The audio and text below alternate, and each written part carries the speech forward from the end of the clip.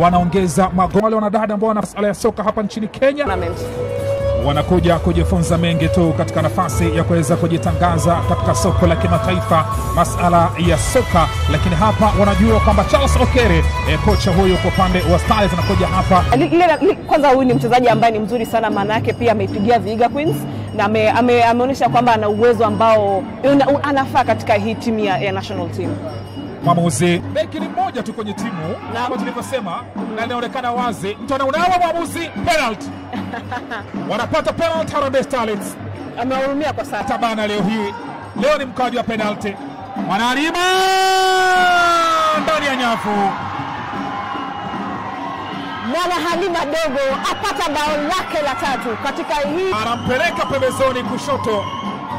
Wanarudi pale pale walichoanzia wenyewe, wanasema mnatusikia jamani, mnatuelewa huko nje, mnatakaje? Katakata pa sasa, basi na Anyango piga shuti, bado Mwanaalima dogo! Ndani ya nyavu, ndani ya nyavu. bao lake la pili la siku ya leo na bao lake la nne Mwana Halima Dogo. Mwana Halima Adam Jereko Dogo kutoka maeneo ya kaunti ya Kilifi, watu wa St. John's. Kuyazungumzaji kipindi cha pili kikianza, Uh, ukiangalia kwamba kocha Charles Sekere amemweka ndani ya uh, Gentrix Shikango, inaletwa ile na naiacha Shikango, apiga dogo, golkipa anadaka anakuchilia, pigwa cheka na nyavu. Ah! Wanafanya makosa wenyewe hapa, kipa anafanya makosa mwenyewe.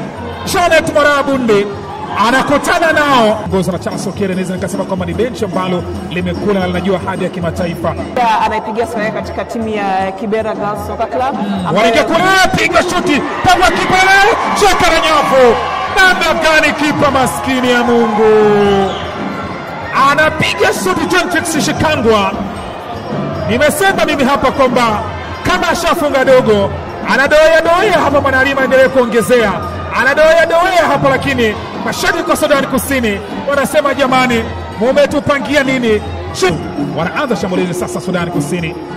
Cheza pale katikati sasa, Weni Luka, Weni Luka. Anakataa nyuma huku kabisa. Rachel Mwema.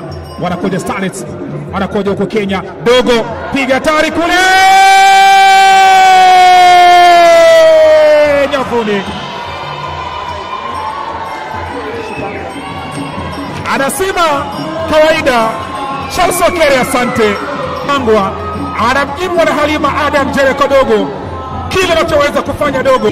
Kwa hivyo rasmi kabisa kwamba Sudani Kusini wapo na mwakilishi kwenye uwanja huu wa kimataifa wa Nyayo, na unapata kwamba ni kitu cha kujivunia, ni kitu cha kujivunia kwa sababu ni taifa ambalo naweza nikasema ndio kwanza linakuwa kimchezo wa soka. Kwa hivyo linajitangaza, letwa kule,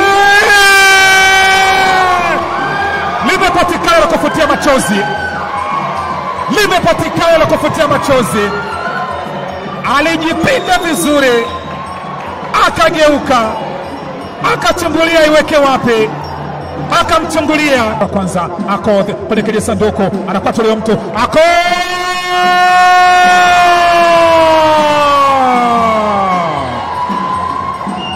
Lydia Akoth. Sherehe alianza mwenyewe, alitengeneza jukwaa mwenyewe, akaitisha tensi yeye mwenyewe, akaitisha bendi yeye mwenyewe, yeye mwenyewe akawa MC, yeye mwenyewe anafanya kila kitu, anapakua, anakula mwenyewe. Lydia Akoth Mora anavalishwa mtu kanzu, Corazon Aquino, Corazon, Corazon, mtu anaona hawa, mwamuzi anasema nini? Hamna penalti, namna gani refari Florentina Chief. Bado anataka penalti ndio kule. Cheka na nyavu. Saba shuti kitu kinacheka na nyavu tena hapa. Oh, Medi Atieno anasema nilisema nitawajibu. Kaka Zema na Sasha nilisema nitawajibu amejibu ametujibu. Ame- Amehesabu moja, mbili, tatu, nne, tano, sita, saba kwa Kenya, moja kwa upande wa timu ya taifa Sudani Kusini. Angwa acheka na nyavu vile vile, akaweka vile vile Medi Atieno.